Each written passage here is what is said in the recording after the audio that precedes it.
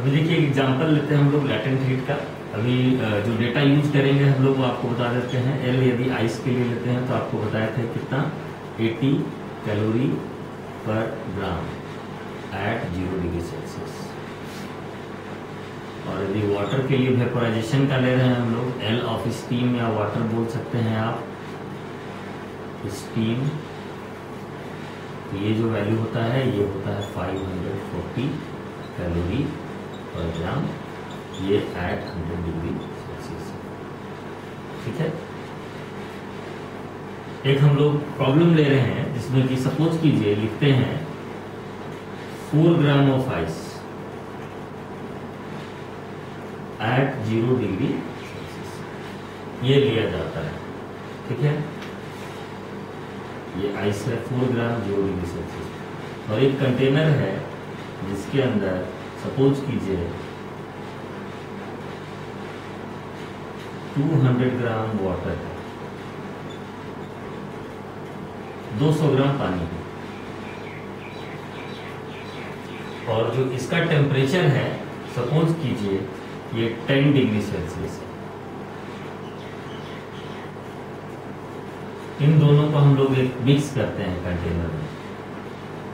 मतलब ऐसे मिक्स कर दिया जाता है वाटर के साथ आइस तो ये आइस जो होगा ज़ीरो पे है वाटर टेन डिग्री सेल्सियस पे है तो ये हीट एब्जॉर्ब करेगा वाटर से और ये मेल्ट कर जाएगा. तो आपको बताना है फाइनल टेम्परेचर ऑफ़ मिक्सचर जब तो पूरा वाटर हो जाएगा आइस मेल्ट कर जाएगा तो, तो देखिए इसमें दो फ़ेज़ में काम करना पड़ेगा। पहला क्या करना पड़ेगा? कि आइस जो है वो ज़ीरो डिग्री सेल्सियस से पहले किसमें बदलेगा? तो water at zero degree Celsius हो जाएगा पहले तो पूरा ये ज़ीरो पे वाटर बनेगा। क्योंकि ये जो आइस हमने लिया हुआ है, वो टेन पे है ज़ीरो पे है। इसका टेम्परेचर बढ़ के सपोज़ कीजिए ज़ीरो और टेन के बीच में कुछ थीटा हो जाता है। सपोज़ चार, पाँच छः डिग्री सेल्सियस वाटर जो भी आता है। तो ज़ीरो डिग्री सेल्सियस। इसके बाद जो वाटर होगा, वो वाटर कन्वर्ट होगा ज़ीरो से कहाँ पे? तो वाटर एट टेम्परेचर थीटा ये देखिए आइस बदलेगा मतलब आइस को पहले वाटर में बदलना है, फिर उस वाटर का टेम्परेचर बढ़ेगा, इससे हीट लेगा तो हीट गेंड बाई आइस निकालेंगे पहले।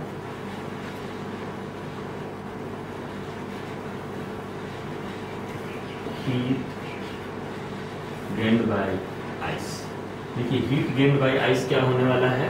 तो हम लोग लिखेंगे पहले चार ग्राम आइस है। एक ग्राम आइस के लिए कितना लगता है? एटी कैलोरी पर ग्राम तो फ़र्स्ट स्टेज में यहाँ जो हीट लगेगा हीट गेन बाय आइस तो लिखेंगे फोर इंटू एटी अब ये वाटर में बदल गया। तो चार ग्राम वाटर है स्पेसिफिक हीट वन है और इसके बाद चेंज इन टेम्परेचर कितना हो जाएगा तो theta minus zero delta theta देखिए, क्या फॉर्मूला लगाया गया? एम है और ये एम सी डेल्टा थीटा ये फॉर्मूला हम लोग यूज़ कर रहे हैं।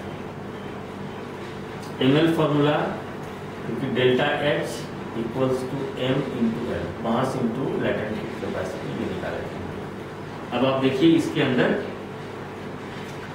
पहला जो पार्ट है वो लेटेंट हीट है। ज़ीरो आइस से ज़ीरो वाटर में कन्वर्ट करने के लिए जो अमाउंट ऑफ़ हीट लगेगा वो होगा फोर इंटू एटी और फिर ज़ीरो से थीटा जहाँ की ये थीटा किसके किसके बीच रहेगा? तो ज़ीरो से लेके दस के बीच रहेगा।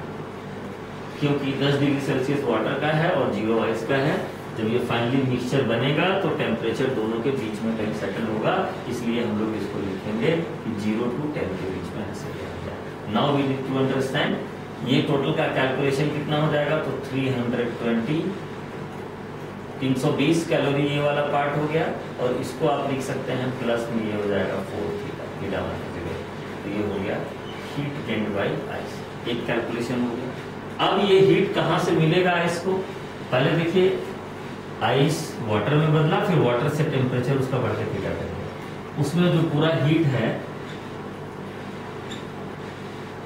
वो मिलेगा जो वाटर पहले से 10 पे है, इससे हीट आइस को मिलना है। तो हीट लॉस्ट बाय वाटर तो ये वाटर से वाटर में ही रहना है इसको। इसलिए आप फॉर्मूला जो लगाएँगे एम सी थीटा लगाएँगे तो एम का वैल्यू इसका कितना है? 200 ग्राम स्पेसिफिक हीट है वन और चेंज इन टेम्परेचर कितना होगा? तो 10 फाइनल था इनिशियल था और थीटा फाइनल था। हीट लॉस बाय वाटर तो ये हो जाएगा आपका 200 hundred into ten minus theta ये आपका एच टी और फिर दोनों को इक्वल कर देंगे हम लोग by principle of calorimetry H one equals to क्या आ जाएगा? H two this gives 320 plus 4 theta equals to 210 minus theta. That is equal to, आप इसको कैलकुलेशन करेंगे तो ऐसा आ जाएगा 2000 minus three hundred twenty equals to ये 200 माइनस थीटा है। तो ये हो जाएगा 204 थीटा तो इसका कैलकुलेशन करेंगे तो थीटा का वैल्यू जो आएगा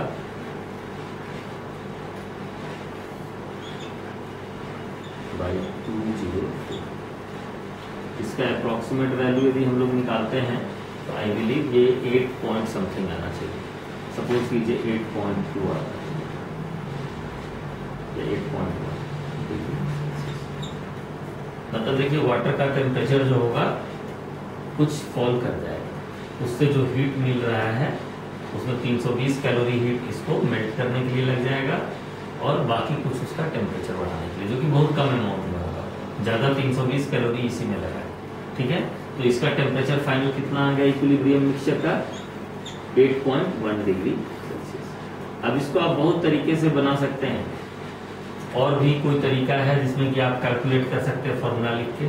लेकिन लेटेंट हीट जहाँ पे आएगा, वहाँ पे एक एक्स्ट्रा टर्म जो होगा एमएल वाला, ये हमेशा आपको ऐड करना पड़ेगा। हम लोग एक और एग्जांपल लेंगे इसके अंदर। ठीक है?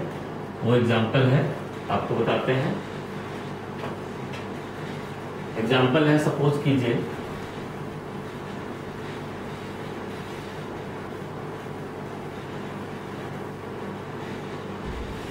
मान लीजिए 10 gram ice at zero degree Celsius इसमें हम लोग मिक्स करते हैं सपोज़ कीजिए।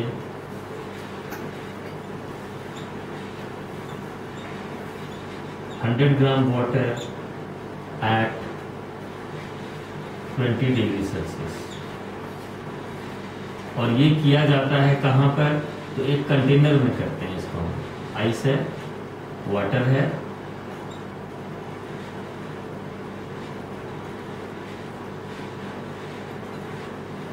और ये कॉपर का एक कंटेनर है।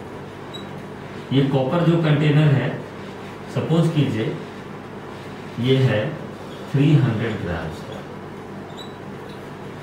इसके अंदर हम लोग फाइनली करते हैं। इसका temperature zero degree Celsius water जो है ये 20 डिग्री सेल्सियस और ये जो कंटेनर है सपोज़ कीजिए ये कंटेनर है आपका 30 डिग्री सेल्सियस मतलब यहाँ पे तीन ऑब्जेक्ट है। आइस को मिलाना है हम लोग को, इसमें वाटर रहेगा और ये कंटेनर है कॉपर कंटेनर है तो ये भी हीट क्योंकि ये हाई टेम्परेचर पर है तो ये भी हीट लूज करेगा। तो हम लोग को ये निकालना है कि फाइनली इस कंटेनर के अंदर जो लिक्विड रहेगा या ये जो मेटल का कंटेनर है, इसका फाइनल इक्विलिब्रियम टेम्परेचर क्या होगा? तो ये आपको हम प्रॉब्लम करने के लिए हिंट बता देते हैं। आप अपने से खुद से इसको करेंगे। इसमें क्या क्या चीज़ कंसिडर करेंगे? देखिए आइस के बारे में हमको पता है। टेन ग्राम आइस है ज़ीरो ये मेल्ट ज़रूर करेगा। क्यों मेल्ट करेगा? ऐसा निकालना है, आपको कंफर्म करना है। तो देखिए 10 ग्राम आइस को मेल्ट करना है यदि आपको तो हीट कितना रिक्वायर्ड होगा? 10 मल्टीप्लाइड बाई कितना है? 80 कैलोरी तो 800 कैलोरी चाहिए आपको।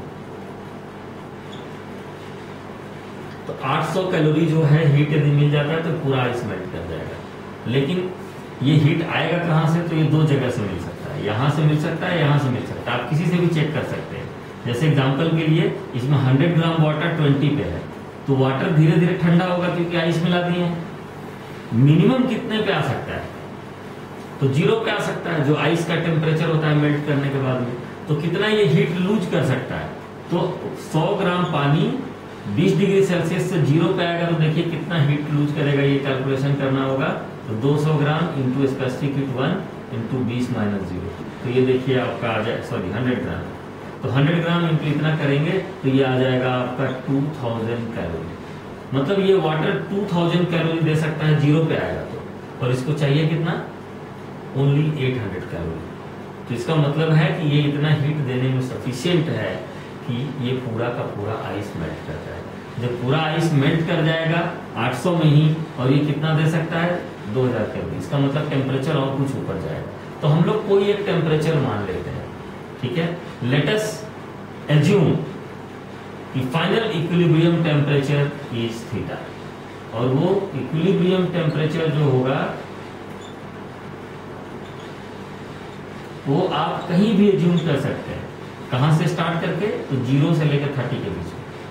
आप बोलेंगे बीच में ट्वेंटी है, क्या ट्वेंटी से कम ले या ट्वेंटी से ज़्यादा ले? आप मेंटली ऐसा रख लीजिए कि ये ट्वेंटी से कम। एग्ज़ाम्पल के लिए, ये फिफ्टीन डिग्री सेल्सियस है सिक्सटीन डिग्री से ऐसा मान लेते हैं। Let us consider that there is equilibrium temperature से इक्वल्स टू थीटा और इस वैल्यू को हम लोग को निकालना है। तो यहाँ कौन कौन हीट लूज करेगा और कौन कौन गेन करेगा, ये आपको अब देखना है।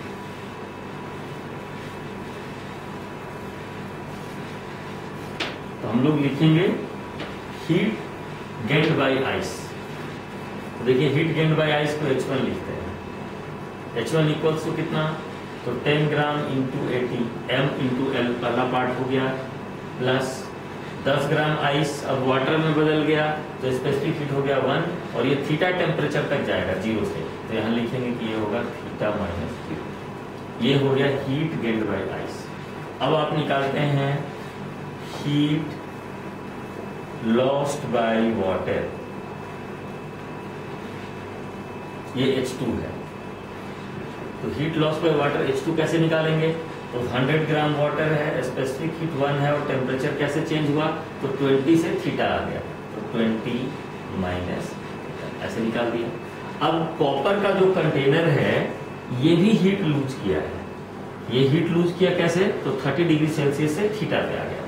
तो हम लोग फिर अब निकालेंगे इसमें कि हीट लॉस्ट बाय कॉपर या आप लिख सकते हैं कॉपर कंटेनर कैलोरीमीटर ये तीसरा पार्ट है इसको H3 लिखते हैं। तो कॉपर का मास कितना है? 300 gram M C delta beta C का वैल्यू कितना होता है? तो 0.1 और थीटा कितना लेंगे इसका? तो 30 माइनस थीटा जिसको आप कैलकुलेट करेंगे तो 30 इंटू थर्टी माइनस थीटा हो जाएगा। देखिए, तीन पार्ट में होगा आइस हीट लिया मेल्ट कर दिया। और फिर थोड़ा सा टेम्परेचर बना। उसको जो भी हीट का रिक्वायरमेंट था वो कहाँ से मिला? तो जो वाटर लूज किया है और जो कॉपर लूज किया है। तो हीट लॉस्ट हीट गेंद जो है और जो हीट लॉस्ट है दोनों का इक्वेशन सेट करेंगे हम लोग। हम लोग लिखेंगे H one equals to H two plus H heat lost heat gained by ice equals to होगा heat lost by water plus heat lost by copper container H one बराबर एच टू प्लस अब ये calculation पूरा complete करते हैं हम लोग।